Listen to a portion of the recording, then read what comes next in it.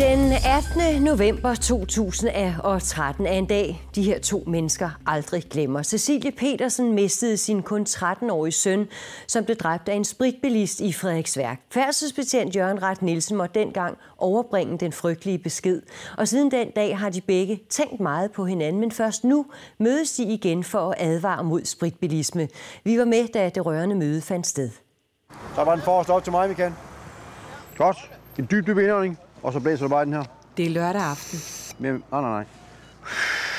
Færdselsbetjent Jørgen Rat Nielsen Alt det, du overhovedet kan. er på spirituskontrol nord for København. Mere, mere, mere, mere, mere, mere, mere. Blæs, blæs. Det er nemlig højsæson for julefrokoster, hvor mange sætter nøglen i tændingen, selvom de har fået et glas for meget. Hvornår har du drukket den sidste øl? Fra 2010 frem til 2014 har 187 mennesker mistet livet Ja, jeg skal lige bede dig om at slukke motoren en gang. på grund af spritbilister. Omkring hver fjerde dødsulykke sker i vores sendeområde.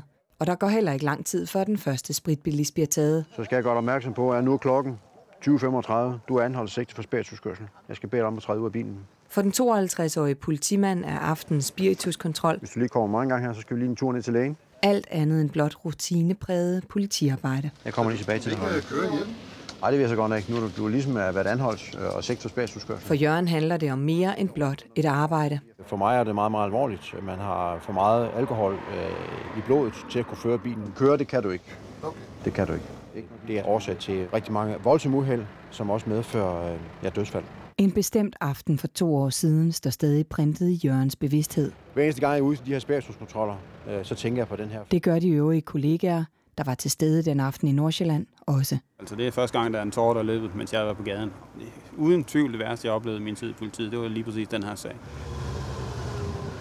Omkring klokken 6 om aftenen den 18. november 2013 kommer Jørgen til et færdselsuheld her på Hillerødvej i Frederiksværk. Jeg kan høre, at der er et barn, der er svært til skadekommet. Og jeg vælger at så sætte kursen heroppe med det samme. Og jeg har taget en kollega med. Øh, og grunden til, at vi sætter kursen heroppe, og vi, gør det på motorcykel, det er, hvis der så kører den ambulanceskorte, så, så, så er vi så fremme øh, så hurtigt som overhovedet muligt. Billederne her er fra ulykkesaften i Frederiksværk.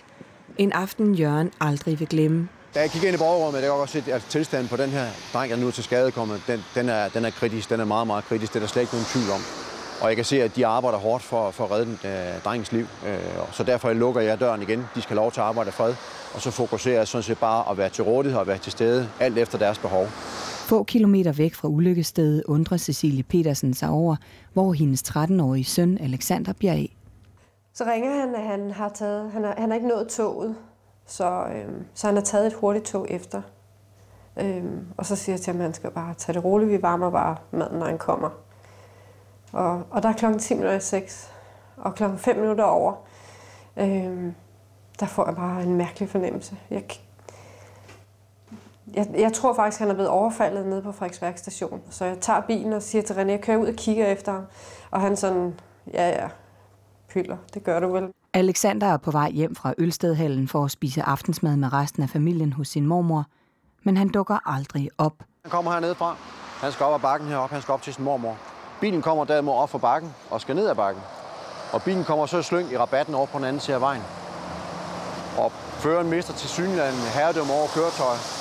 Kører over tværs over vejen og rammer Alexander heraf. Så bliver trykket op langs hegnet.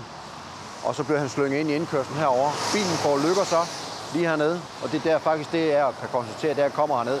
Det er, at bilen stadig holder i med føreren inde i køretøjet. Det er ganske usædvanligt, at, øh, at den, den til skadekommende og sådan set den, der har påkørt øh, drengen i det tilfælde her, øh, er så tæt på hinanden.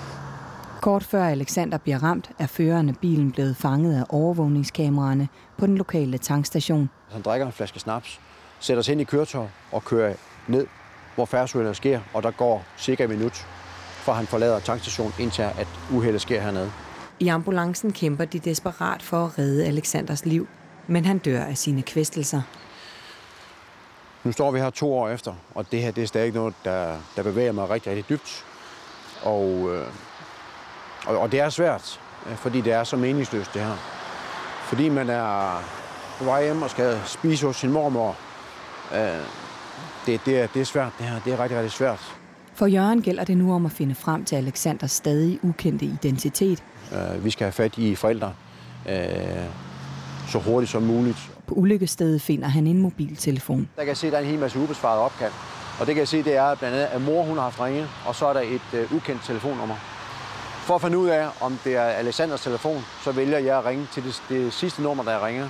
Øh, og så derved så får jeg så at vide, at det faktisk er Alexanders telefon. Jørgen når ikke længere. Kort tid efter er Cecilie ved ulykkestedet. Men jeg bliver jo så ikke lukket ind. De har ligesom blokeret vejen ved skovbakken, øh, og jeg prøver at holde ind, men jeg bliver viftet videre. Og jeg kører op over, og min, hele, det hele det kører bare på mig. Jeg er godt klar over, at der er et eller andet galt, for jeg har ikke hørt fra Alexander. Øh, og så kommer jeg ud rundkørslen ude ved pøl, pølseri, og der blokerer simpelthen bare bremsen. Der kan jeg godt mærke, nu, nu er jeg simpelthen nødt til at få noget svar. På et tidspunkt så står der en, en lille bil, øh, og jeg forventer, at det er en af os, der lige skal vide, øh, hvordan kommer jeg nu til Hillerød og så videre. Så jeg går over og siger, hej, du skal lige køre videre. Så, så siger hun til mig, at jeg kan ikke, øh, jeg kan ikke finde min søn. Øh, han er ude at cykle, noget af den stil, og så ved jeg godt, hvem der er formentlig står med. Og så spørger jeg ham om, er det min søn? Og så siger han, hvad hedder din søn? Den hedder Alexander Pedersen. Og hun kan godt se på mig, at den er gal, den her, og hun beder om, om jeg ikke godt vil uh, fortælle hende, hvad der er sket, og det kan jeg ikke, og det havde jeg rigtig, rigtig skidt med, uh, at jeg ikke kunne komme ud med det. Uh, det var det, man ville, men det kunne jeg ikke. Og så siger han lige et øjeblik. Og så kommer Jørgen. Da jeg møder Cecilia dernede, der skal synes jeg have afdækket, hvem er hun, hvor bor hun henne, øh, og har hun eventuelt kendskab til den her person her. Og det finder jeg ud af ganske hurtigt, at det er hun. Det her det er Alexanders mor, jeg står med. I næste minutter er nogle af de sværeste i Jørgens 25 år hos politiet. Jeg siger til Cecilia, at øh, nu skulle hun tro på, at jeg er hendes bedste ven, og uanset hvad der sker nu, så skulle hun bare holde mig i hånden. Og øh, så der vi går ned for rundkørslen, der jeg spørger Cecilie hele tiden, hvad der skete med ham, og hvorfor, hvor, hvorfor er vi her, og hun gerne har så meget at vide som overhovedet muligt.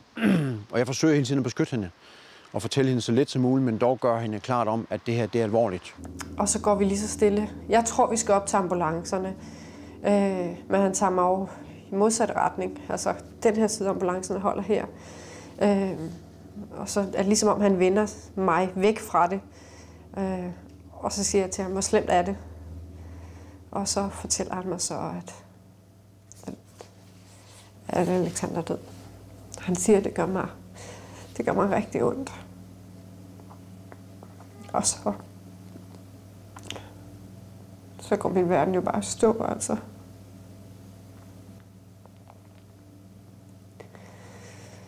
Og så kan jeg sådan set kun huske, at jeg står hos Jørgen, og han holder mig jeg er sikker på, at han også bare bærer mig, fordi jeg kan slet ikke mærke noget i min krop. Jeg er ligesom bare helt følelsesløs.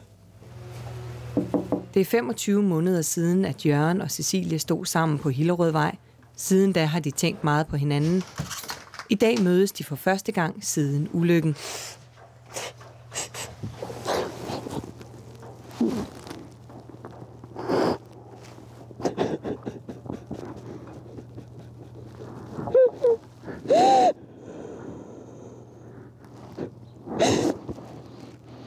Hej Cecilie.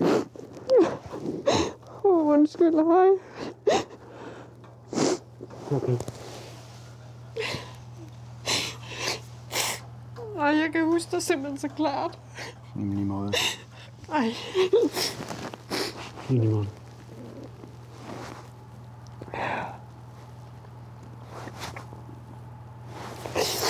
Kom ind for. Jeg prøvede meget, men... Ikke sådan det her. Nej. Ikke sådan det her. Det har været noget egentlig særligt. Og det kan bare huske, at jeg men Alexander er en meget god dreng. Det, han er en meget god dreng. Og det er der ikke nogen tvivl om, han har været. Nej. Overhovedet ikke. Han har været, han har været en god dreng. Og det kan man også se på alle de mennesker, der kom, øh, også til begravelsen. Alexander Petersen gik i 7. klasse på Inghaveskolen i Frederiksværk. Det var skolen, der arrangerede hans begravelse.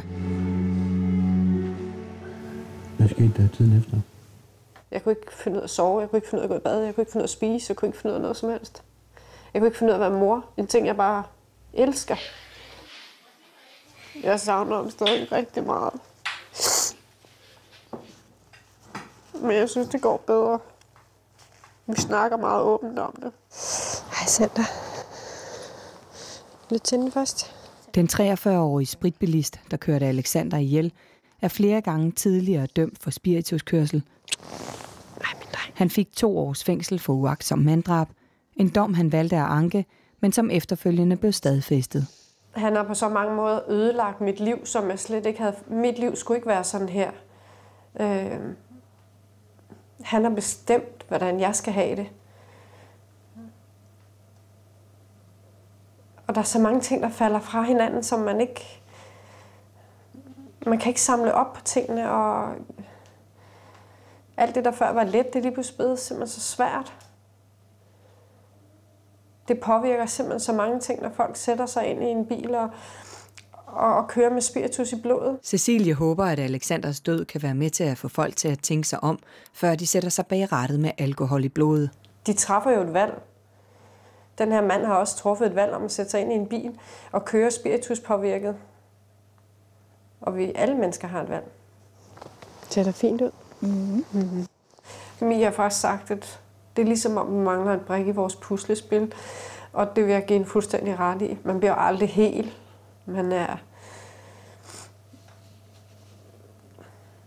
Man kan godt blive glad, men man bliver aldrig lykkelig. Det tror jeg simpelthen ikke på.